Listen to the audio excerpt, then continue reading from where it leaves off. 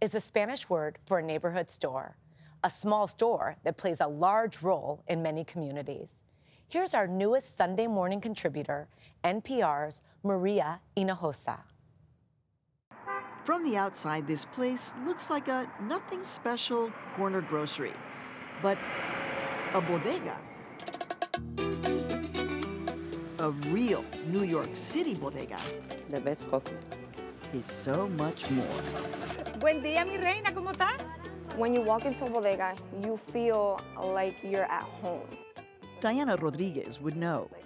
I can go back as far as when I was born because I lived on top of a bodega. And started working here at the age of six. A bodega is a place where you might find ripe avocados right below the Jackson ball set and where the pantyhose sit next to the glue traps. Confusing to the outsider, maybe, but neighborhood folks come here day after day for all of those things, plus a breakfast sandwich, Diana's favorite. A bacon, egg, and cheese on a hero. Variations on egg and cheese. Un sándwich de huevo con queso. So good. There are more than 10,000 bodegas throughout New York City's five boroughs. For you, what is the heart of a great bodega? El que está detrás del counter. The person behind the counter. Definitivamente, sí. At Pamela's Green Deli, that person behind the counter is Pamela. She's been a fixture at this location for nearly 30 years. He's my baby. Michael Diaz may not know her real name is Nina Baez, but she knows his name and more. If I say, Hi, Miss Pamela, how you doing? She says, So, you want your cheese and ham sandwich? I say, Of course. This bodega is owned by Diana's father, Radames Rodriguez, who came to the United States from the Dominican Republic in 1985.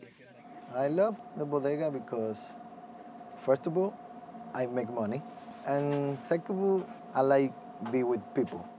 He and his two brothers now own 12 bodegas, where shoppers find something you can't buy. Have you ever helped somebody get a, a plumber or an electrician? Yes. Have you ever helped somebody with a loan? Yes.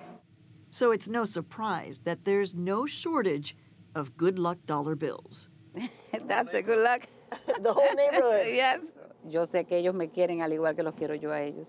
It means that you feel like your customers love you Yes. as much as you love your customers? Yes. But along with the good, there's a little bad. It's really hard to prevent people from buying things that aren't as healthy. According to New York City health officials, poor neighborhoods suffer from high rates of diabetes and obesity, and bodegas are hardly known for stocking nutritious foods. I live for pork skins when I come to the bodega. Right here, no sugar. Fantastic for my pre diabetic condition. Okay. That's because there's only enough room for what sells, The snack cake food group. which is why Dallas Penn, comedian and blogger, created his special bodega food pyramid. Without the snack cakes, without the potato chips, and the quarter waters and the 40 ounces, no, you're not a bodega. I'm sorry. You're just a grocery store. To be certain, there are signs of change on the shelves of some bodegas. The first step is for bodegas to be courageous. The second step is let's educate the consumers on the other products that are going to be of value to them. The thousands of bodegas throughout New York are owned by Dominicans, Puerto Ricans, Yemenis, and others. And for 19 year old Diana Rodriguez, someday running a bodega of her own defines the American dream. Still, her father is hoping she aims higher. You kept saying that bodega is the best thing to have, but every time I say I want to have a bodega, you're like, But I don't want you to go through all the things that I, I, I went through. okay, but now we don't have to start from day one, you know? It's like I ta- I have to take advantage of the fact that you've made it so far.